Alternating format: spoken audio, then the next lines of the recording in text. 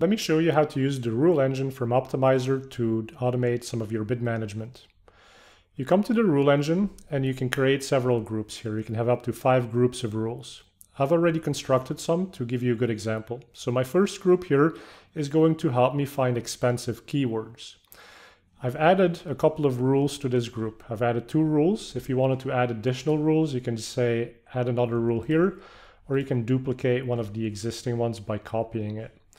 Now let me show you how I've constructed my current two rules.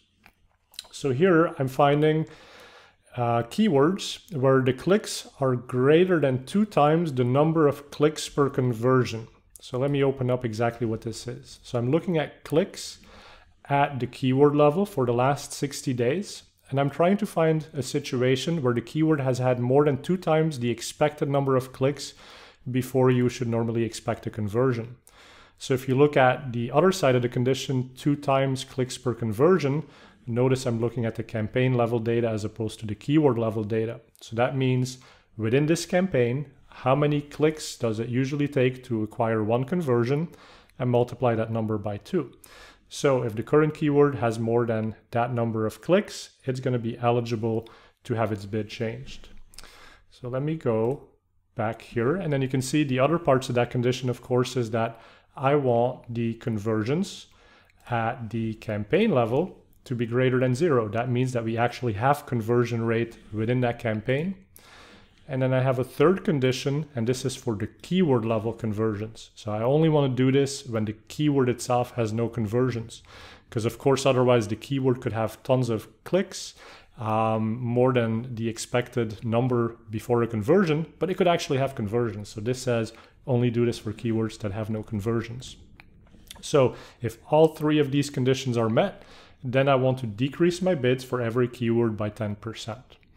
So this is helping me find keywords that have too many clicks and no conversions. Now the second rule is helping me find keywords that have conversions, but where those conversions are more expensive than expected. And so it's a similar thing that I've done here where I have cost per conversion both on the left side and the right side of the equation. But here you will notice that cost per conversion, once again, is the keyword level data. And then on the right-hand side of the equation, could have just stayed on that page, but let me go back to it. So here the cost per conversion is at the campaign level. So the cost per conversion for the keyword is more than two times the campaign level cost per conversion.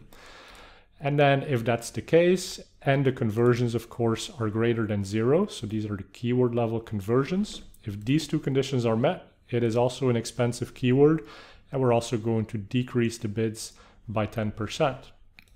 Once I'm done with this rule, I can preview it to see which of my keywords in the account would match. So I can click here to preview suggestions. It's going to generate a table of all of my expensive keywords. And from this page, I can look at the current maximum bid, the new suggested maximum bid, and I can also figure out which keywords are meeting which rule conditions. So I could say, show me just the ones that meet rule number two.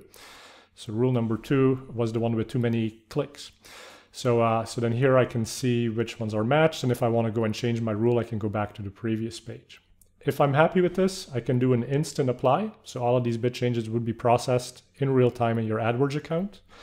And then in a few weeks, we'll be turning on the automate button as well. So then you can install a piece of script so that this automation can run for you as often as once per day.